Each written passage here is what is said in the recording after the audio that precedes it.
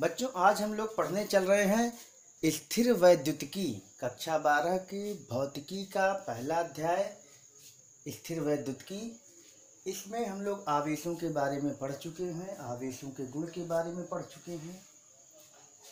आवेश कितने प्रकार के होते हैं, ये पढ़ चुके हैं।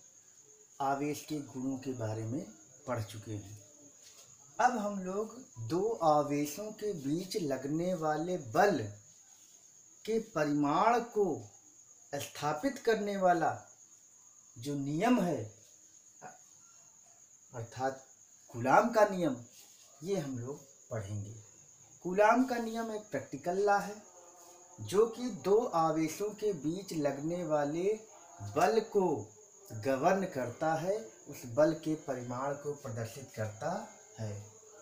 यहाँ हम लोग एक चीज़ ये जानेंगे कि बिंदु आवेश क्या है? गुलाम का नियम जो है, बिंदु आवेशों के लिए ही कार्यरत होता है और तब, जबकि उनके बीच की दूरी आवेशों के, आवेशों का जो आवेश हो, वो स्थिर हो।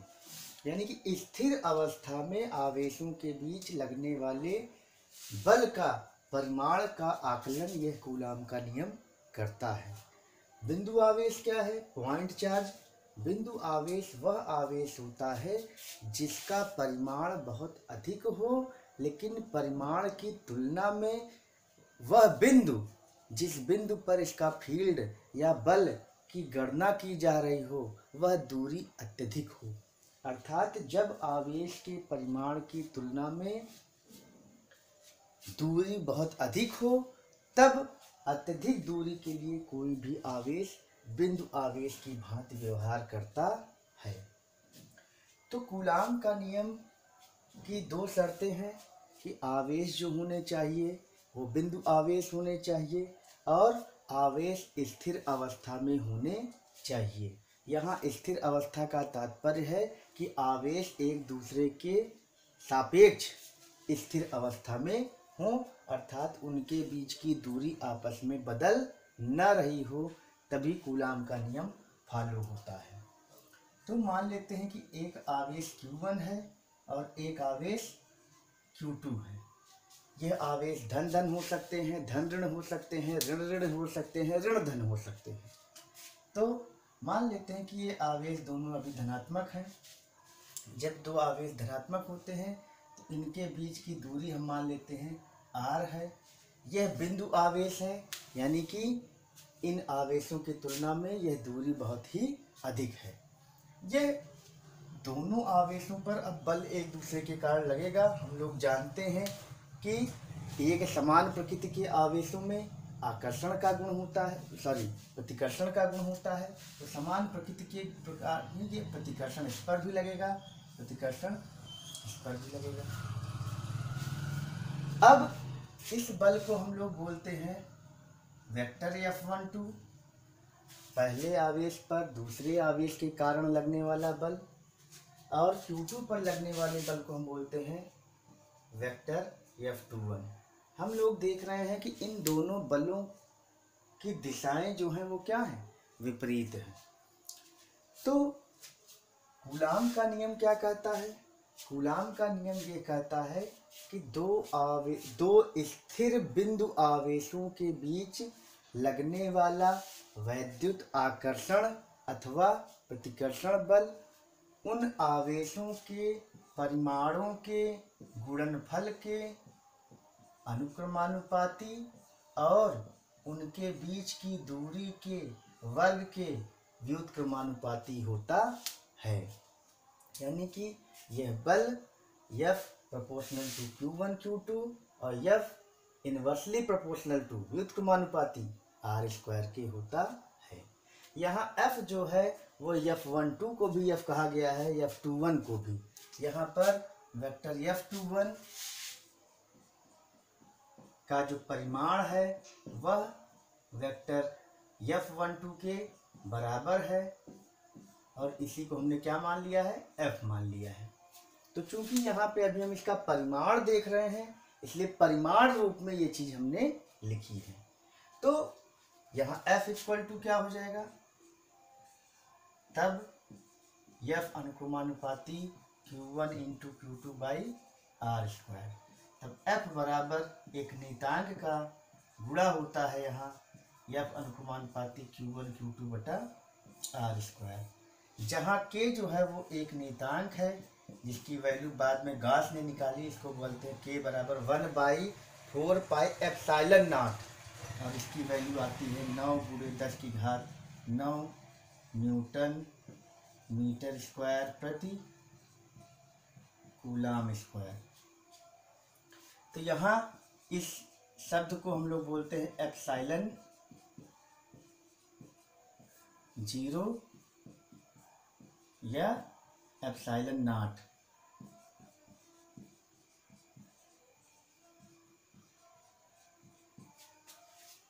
अच्छा इस एप्साइलन नाट की जो वैल्यू होती है, वो eight point eight five four इसको क्रॉस मल्टीप्लाई करके हम लोग निकाल सकते हैं।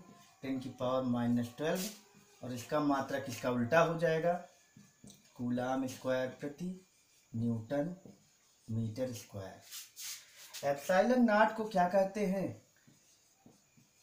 वायु या निर्वात की विद्युतशीलता।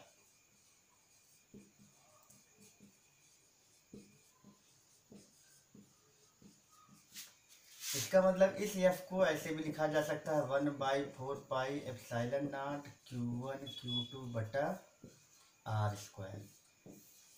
तो यहाँ पर ये एफ़ जो निकला है, यहाँ ये एप्साइलन नाट है, इसका मतलब है कि यह वायु या निर्वात में ये आवेश रखे हैं। अगर यह वायु या निर्वात के अलावा किसी अन्य माध्यम में रखे जाते, तब किसी अन्य माध्यम में, किसी अन्य माध्यम में तो ये हो जाएगा यफ मीडियम यफ माध्यम हो जाएगा और यह क्या हो जाएगा? वन बाई फोर पाई केवल एप्साइलन हो जाएगा epsilon into Q one Q two बटा आर स्क्वायर यहाँ एप्साइलन क्या है? माध्यम की विद्युतशीलता है। माध्यम की विद्युतशीलता। विद्युतशीलता किसी पदार्थ का वह गुण है, जिसके कारण किसी आवेश का जो अन्य आवेशों पर प्रभाव है वह कम हो जाता है। जैसे इस आवेश का इस आवेश पर प्रभाव है, जिसके कारण इस पर प्रतिकर्षण बल यहाँ लग रहा है। अगर यहाँ माध्यम कोई रख दिया जाए, जैसे माइका रख दिया जाए, यानी अभ्रक रख दिया जाए तो अभ्रक रखने पर इस आवेश पर लगने वाला बल एक दूसरे के कारण जो होता है, वो कम हो जाता है। तो इसका अर्थ क्या है? इसका अर्थ ये है कि जब किसी माध्यम को यहाँ फिल किया जाता है तो एक आवेश का दूसरे आवेश पर जो प्रभाव है वो कम हो जाता है। तो जो प्रभाव किसी आवेश के दूसरे आवेश पर प्रभाव को कम करने वाला जो कारक है, वह कारक माध्यम की विद्युतशीलता कहलाता है। यानी कि विद्युतशीलता जितनी ज़्यादा होगी किसी माध्यम की, उतना ही आवेश का प्रभाव दूसरे आवेश पर कम पड़ेगा। यहाँ से हम लोग देख रहे हैं कि विद्युतशीलता जैसे जैसे बढ़ती जाएगी, माध्यम में आवेशों के बीच लगने वाला बल घटता जाएगा। इसका अर्थ ये है कि अलग अलग माध्यमों की विद्युतशीलता अलग अलग होती है। इस बल को हम लोग यफ एयर भी लिख सकते हैं। ये यफ एयर भी है। यही बल हमारा क्या है? यही यफ एयर है। यही हमारा यफ वन टू है। यही यफ टू वन है, ये परिमाण है बलों का, है ना? यही हमारा माड ऑफ़ एफ़ वन टू है। यही हमारा माड ऑफ़ एफ़ टू वन है। तो इस तरह से माध्यम में इस तरह से हो जाएगा। अब अगर हम इस समीकरण को एक को दो से भाग करते हैं यफ एयर अपान यफ मीडियम अगर कर दें एक को दो से भाग देने पर। तो बायां बायां पक्ष भाग देंगे, दायां दायां पक्ष भाग देंगे। यहाँ one by four pi, Q one, Q two बटा square, one by four pi, Q one, Q two बटा स्क्वायर कट जाएगा। बचेगा क्या? ये एप्साइलन ऊपर पहुँच जाएगा एप्साइलन नाट नीचे पहुँच जाएगा। तो यहाँ एप्साइलन अपान एप्साइलन नाट जो है, वो एक क्या होगा? नेतांक होगा। है ना? और इसी को हम लोग एप्साइलन आर कहते हैं या कैपिटल के। क्या कहते हैं? एप्साइलन आर या के। एप्साइलन आर को माध्यम की सापेक्ष विद्युतशीलता सापेक्ष विद्युतशीलता है ना? अब के को क्या कहते हैं? माध्यम का परावैद्युतांक माध्यम का परा वैद्युतांक कहते हैं। तो ये के और एप्सिलॉन आर का जो मान होता है, वह आपस में बराबर होता है। तो अगर कोई पूछे कि परावैद्युतांक की परिभाषा क्या है तो परावैद्युतांक की दो परिभाषा बनी। क्या बनी? एक बल के पदों में यहाँ आ चुकी और एक विद्युतशीलता के अनुपात के रूप में। तो इस तरह से चूँकि ये दोनों मात्रक एक ही रहेंगे, ये दोनों मात्रक एक ही रहेंगे तो के का कोई मात्रक विमा नहीं होती, है ना? तो मात्रक हीन है ये और विमाहीन। तो अगर कोई पूछे कि के का मात्रक क्या है के की विमा क्या है तो आप कहेंगे मात्रकहीन और विमाहीन है।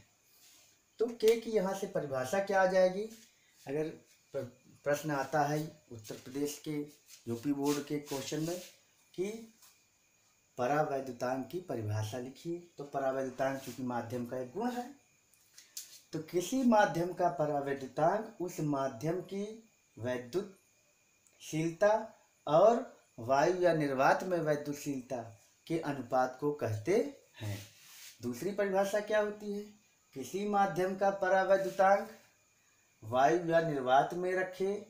दो बिंदु आवेशों को, के बीच लगने वाले बल यफ एयर और उन्हीं आवेशों को उस माध्यम में रखने पर उनके बीच लगने वाले बल, यानी यफ मीडियम के अनुपात के बराबर होता है। तो ये हमारा कुलाम का नियम है। बढ़िया से हम लोग इसको पढ़ लेंगे। इस पर आंकिक प्रश्न लगते हैं। यह कूलाम के नियम का अधिस रूप है, क्योंकि यहाँ अभी वेक्टर नहीं लगा है। वेक्टर रूप में इसमें दिशाओं का भी ज्ञान होना आवश्यक है।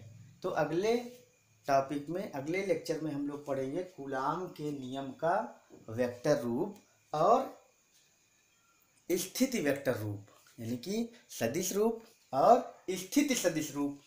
अगले वाले लेक्चर में हम लोग पढ़ेंगे।